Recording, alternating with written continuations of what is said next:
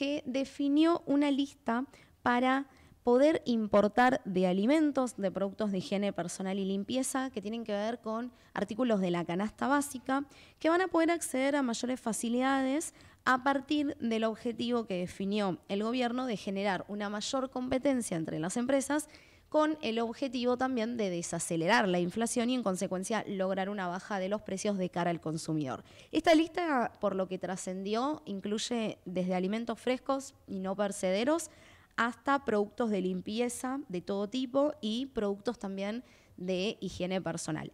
Vamos a hablar ahora con Salvador Femenia, que es vocero de CAME, para charlar un poco sobre el lado, eh, a ver, negativo, si se quiere, que va a tener esta medida para, para las pymes que fabrican acá. Puede ser que sea negativo, así lo expresaron varias entidades eh, como CAME. Eh, que están muy preocupados sobre la competitividad que va, que va a generar esto. Ahí ya está contacto Salvador con nosotros. Hola Salvador, muy buenas tardes. ¿Qué tal? Buenas tardes, ¿cómo te va? ¿Qué tal? Un gusto. Igualmente.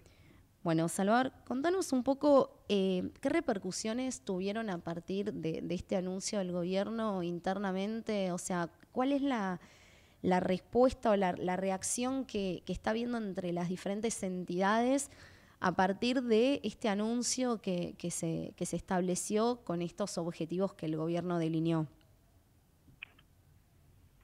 Bueno, el gobierno este, determinó en base a una resolución que, va a haber cierta cantidad de, productos, eh, son algunos miles de posiciones arancelarias, que como dijiste vos va incluir alimentos y bebidas, este, productos de higiene personal, productos de limpieza, y dentro de alimentos y bebidas, alimentos frescos, ¿no?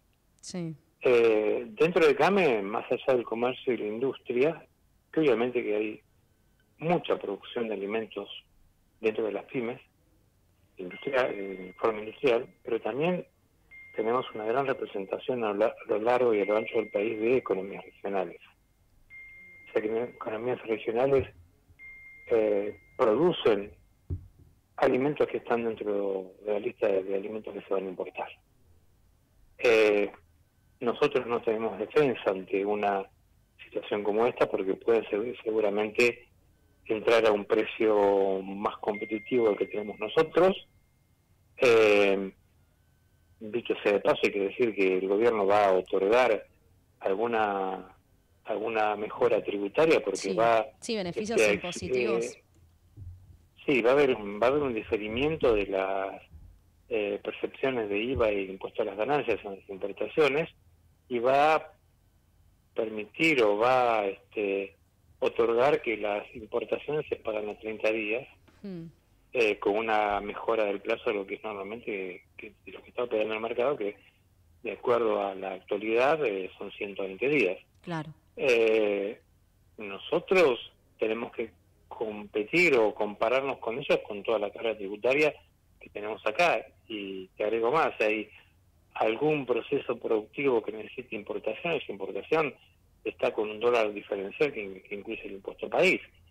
Entonces este nos deja fuera de mercado sin ninguna posibilidad de, decir, bueno, dame estas este, ventajas a mí también o sacame la carga tributaria y seguramente vamos a poder igualarlos competitivamente. Claro, evidentemente esto no está dirigido a las pymes, pero nos afecta a las pymes.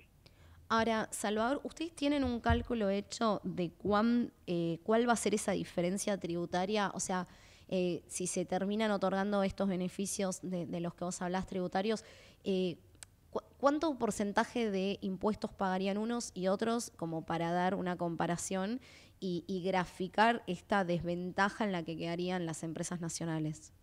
Mira, debo confesarte que no tengo el número en este momento, pero creo que se, excluye el impuesto al país y con diferimiento de percepciones tenés también un, beneficio financiero, que algo que podía sufrir, o sea, como retención eh, eh, en el momento de del, ingreso del producto lo vas a pagar más adelante.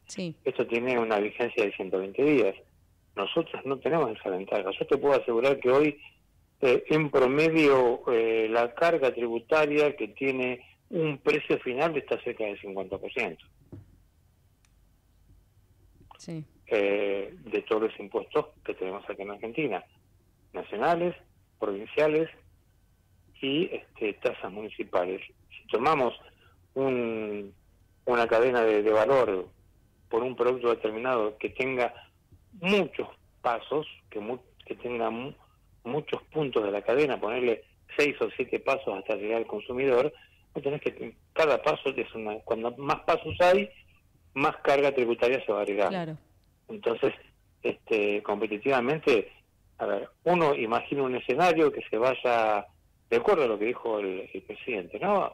A un escenario de estabilidad, de baja de la inflación, eh, con, con, digamos, con una eh, reducción de, impuestos en el futuro. Bueno, ahí es el momento, en todo caso, de decir, bueno, podemos estar en condiciones de competir con productos importados, pero en estas condiciones no. No, claro. Porque todavía no tenemos eh, tenemos la inflación, no tenemos la rebaja de impuestos y un montón de cuestiones que por desacuerdos en el Parlamento no están aprobadas como reformas y todavía nos pegan de lleno. Entonces nos agarra de pleno esto. Sí, sí, por supuesto. Ahora, eh, Salvador, ¿ustedes eh, imaginan en un escenario un poco más dramático ya eh, recortes de producción, cierres de fábrica, despidos, cierre de empresas, ventas. ¿Creen que esta medida puede llegar a, ocasionar, digamos, eh, este tipo de, resultados finales para algunos negocios? Mira, el, tránsito que estamos eh, en este momento pasando por por esta por este ajuste fiscal ya de por sí nos pone en una situación bastante comprometida. O sea, la, baja del consumo ha sido eh, importantísima, muy notoria, la baja de la producción industrial también. Eso ya nos pone en una situación que tememos que el resultado en el cortísimo plazo, eh, durante este mes o el mes que viene, durante el mes de mayo, este, produzca eh, despidos, suspensiones y cierre de pymes. Eh, independientemente de esta de esta medida de, de, apertura de importaciones. Obviamente esto contribuye con un poquito más a esta situación, pero eh, realmente el paso del ajuste para nosotros es muy traumático, el gobierno lo sabe, el gobierno lo avisó, pero bueno, una cosa es saberlo, otra cosa es transitarlo con todo lo que significa a nivel económico y, social también, ¿no? O sea, las pymes no, no veníamos tampoco bien. El 2023 no fue bueno y, digamos, ahora la situación está agravada. Quizá tengamos un alivio que se logre una estabilidad, un, eh, digamos, unas variables macroeconómicas mucho más estabilizadas, pero mientras tanto, la verdad que no, no le estamos pasando nada bien. Hmm. Ahora, eh, ¿ustedes elevaron algún tipo de reclamo al gobierno? ¿Trataron de eh, generar una mesa de diálogo, algo como para tratar de que si no se revierte la medida, aunque sea su postura sea escuchada y, tratar de, obtener algún tipo de facilidad para, para el sector?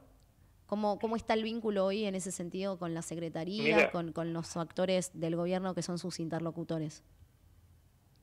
La situación en general, bueno, venimos hablando con el gobierno, hemos tenido este contacto con Secretaría de Comercio, Secretaría de, de, la competencia, eh, se ha hablado con el ministro de Economía, con el ministro del Interior.